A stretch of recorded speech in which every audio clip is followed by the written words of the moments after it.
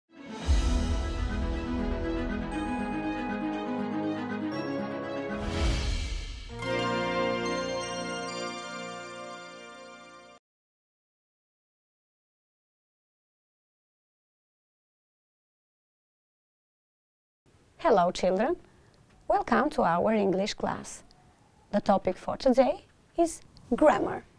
Let's. What does it mean let's? Let's, let. Let's means let us. Let's dot dot. Ah, na learne, let us. Let's is a contraction for let us. Let's është shkurtimi për let us. Let means allow. Let do të thotë më lejo. Por, në rastin tonë, let's doesn't have anything to do with allow. Por në rastin tonë, nuk ka të bëjë me më lejo. Por me çfarë? It's a, it's a suggestion.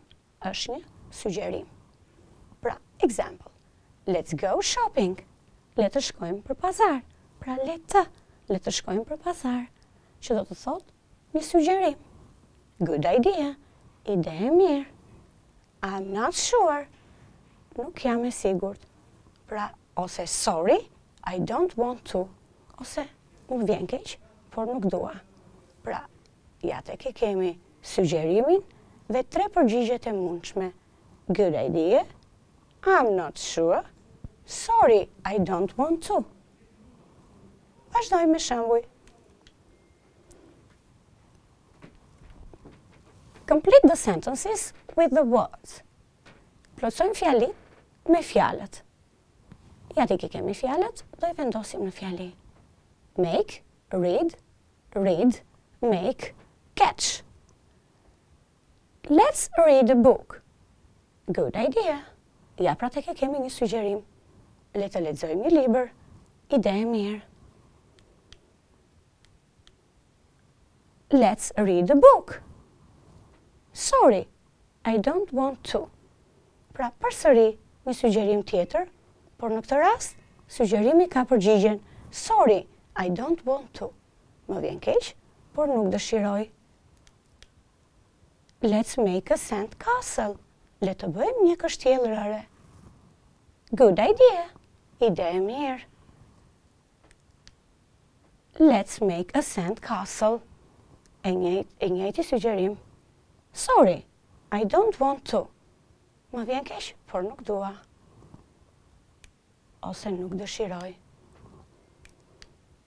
Let's catch a fish Le të kapim një peshk I'm not sure Nuk jam i sigurt Që do të thotë e refuzon Pra, ja tek i kishim rastet, ë, kur përdorim let's si sygjerim, pra sygjerojmë.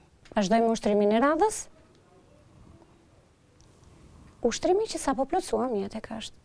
Tani do të lidhim sygjerimet ose fjalitë me figurat. Pra kemi sygjerime të pranuara dhe sygjerime të që nuk janë pranuar. Vazhdojmë i lidhim me figurën. Vazhdojmë. Shikojmë figurën e parë. Çfarë thotë figura e parë? Let's make a sand castle. Dhe djali nuk dëshiron. Let's make a sand castle. Sorry, I don't want to. Më vjen keq, por nuk dëshiroj. Vazhdojmë me figurën e dytë. Let's read a book. Dhe, ë, sugjerimi është pranuar. E lidhim me sugjerimin e pranuar. Let's read a book. Good idea. Vazhdojmë. Let's uh, catch a fish. Sugjerimi në këtë rast nuk është pranuar. Let's catch a fish. I'm not sure. Let's make a sand castle! Le të bëjmë një kështjellë rëre! Siç e shohim, fëmijët janë të qeshur, që do të thotë, sugjerimi është pranuar. Good idea! Vazhdojmë dhe me të fundit. Let's read a book! Përsëri, në këtë rast, sugjerimi është refuzuar. Let's read a book. Sorry, I don't want to. Më vjen keq, por nuk dëshiroj. Vazhdojmë.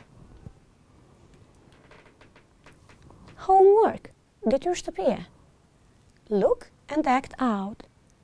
I shohim dhe i veprojmë. Let's ha, play the guitar. Le të luajmë kitarë. Good idea. Pra do bëjmë sugjerime dhe do japim përgjigje.